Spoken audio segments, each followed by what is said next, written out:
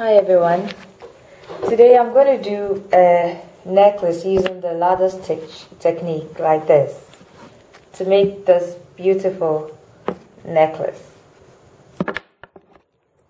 So this is what this is how it looks like. Okay, so I'm going to put this away and start with the tutorial. So the string I'm going to use is elastic string. Now I'm going to do the ladder stitch. First, I'll put one paper bead on the string like this.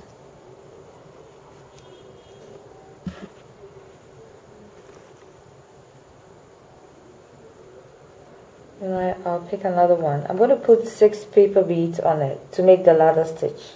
So first of all, to make the ladder stitch, you put one end of the string through the bead like this.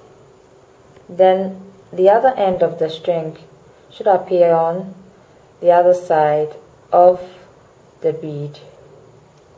So you have something like this. Now you hold one end of the string with your hand, with one hand. So you pull the string to join the other bead like this to make a ladder stitch. So I'm going to continue to put four more beads on the string so I'm going to repeat the same thing you put you put one end of the bead one end of the string through the bead like this. Then the other end like this. Then you pull the string. You repeat the same thing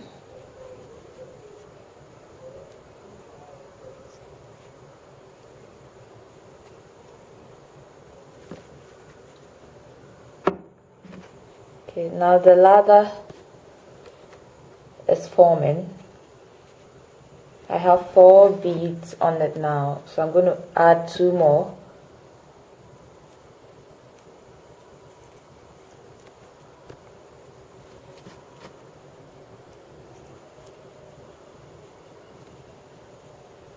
then I'll pull.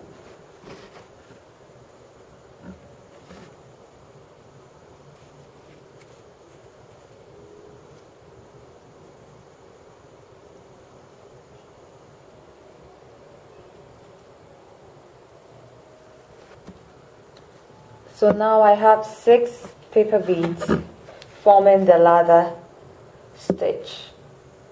So now I'm going to put the wooden beads on both sides of the string like this. I'll put two on one side then the other two on the other side.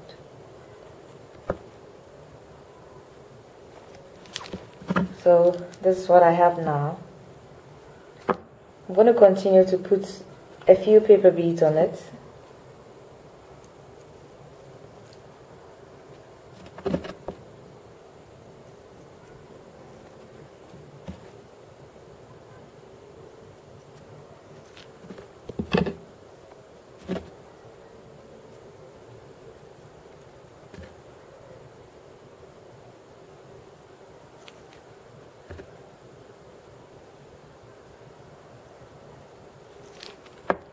So at this point, now I'm going to tie a knot so that the beads don't come off.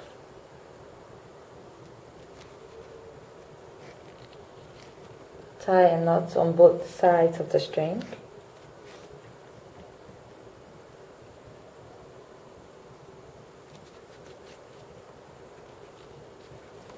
Now you can see that the beads are not coming off. So what you're going to do next is attach your clasps like what I have here.